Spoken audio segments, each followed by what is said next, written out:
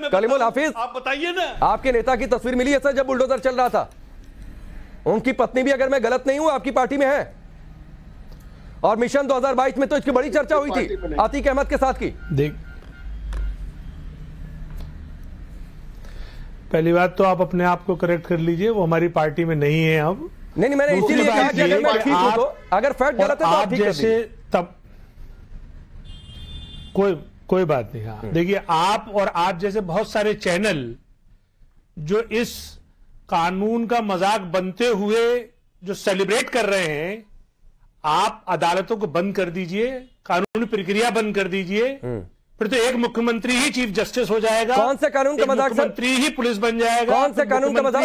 जिसका चाहेगा उसका घर बुलडोजर अरे। साहब कौन से कानून का मज़ाक कोई कानूनी कार्रवाई नहीं कोई नोटिस नहीं कोई कौन से कानून का। मज़ाक, सर, बताइए ना। मतलब अगर किसी का गुना किसी को सजा कौन से कानून का मज़ाक? आप और फिर सारे मीडिया वाले आके नहीं। उसका महिमा मंडन अरे। कलीमुल भाई, कौन से कानून का मज़ाक? देश को क्या आप बनाना रिपब्लिक बनाना चाहते नहीं नहीं हैं? आप कौन से कानून के मज़ाक की बात कर रहे हैं सर?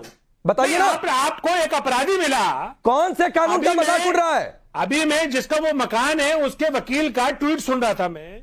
अरे ट्वीट सुना नहीं जाता पढ़ा जाता है। सुनेंगे तो मैं बोलूँ ट्वीट सुना तो नहीं जाता है पढ़ा जाता है सर।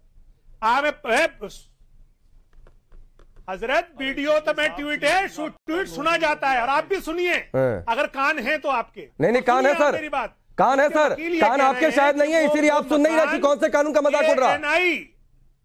आप आप सुनिए आपकी ज़ुबान और कान दोनों गिरवी रखे हुए हैं मेरे गिरवी नहीं है मैं जो बोल रहा हूँ उसे सुनिए और देश को सुनवाइए हम्म। उस उनके वकील ने बाकायदा ट्वीट पे ये वीडियो अपलोड किया और ये कहा कि वो मकान एएनआई के बांदा के पत्रकार ज़फ़र का है उसने किराए पे शायस्ता परवीन को दिया राइफल और तलवार क्या कर रही थी सर उसके घर में? बुलडोजर चला दिया गया राइफल और तलवार क्या कर रही थी उसके घर में? नहीं अरे कलमुल भाई, राइफल और तलवार क्या कर रही थी उसके घर में? राज है ये बुलडोजर राज है ये कौन सा कौन सा राज है? अरे सुनिए ना तलवार और राइफल क्या कर रही थी उसके घर में? पत्रकार के घर में सर तलवार राइफल होती है क्या?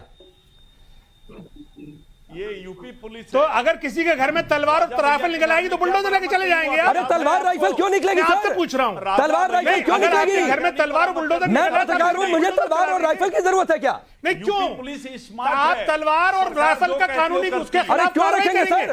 वो कानूनी कार्रवाई ये नहीं है बुलडोजर चलेगा। अरे क्यों ज़रूरत है? सब लोग यही तो सवाल है, क्यों ज़रूरत है तलवार और राइफल की? बैठे हुए हैं। कल को जब आपका घर का नंबर तो- आएगा ना तो- जब आपके तो घर में नंबर आएगा नहीं नहीं सर चिंता मत करिए मैं किसी अपराधी प्रवृत्ति के लोगों से ना मिलता हूँ बहुत दूर से।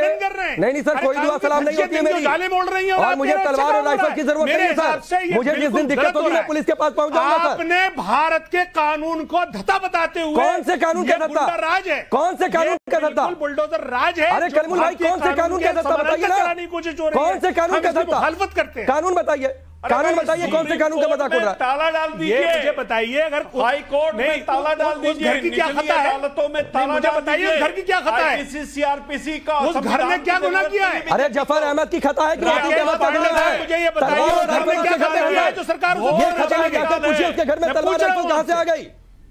ठीक है संगीत रागी एक पत्रकार को ज़रूरत होती है अच्छा, क्या बात। अरे रुक जाइए सर कलमल भाई रुक जाइए। रुक जाइए सर। संगीत रागी और चौधरी जी दोनों लोग से मैं पूछूँगा कि एक पत्रकार को को ज़रूरत है क्या तलवार और राइफल अपने घर में रखने की? पहले संगीत रागी आप मज़ाक कर दिया आप। रुक जाइए सर। आपने सरकारों को मज़ाक बना के रख दिया आप मज़ाक बना रहे हैं बुलडोजर सर। चला पॉलिटिक्स का आप लोग मज़ाक बना रहे हैं सर। ऐसे अपराधी जज प्रवृत्ति के लोगों को अपने अपनी पार्टी में लेकर सर। आप लोग मज़ाक बनाते हैं। और ये मैं सभी पार्टियों के लिए कह रहा हूँ सर। नहीं मैं आप और ये मैं सभी पार्टियों के लिए कह रहा हूँ। कोई पॉलिटिकल पार्टी इससे दूर नहीं है।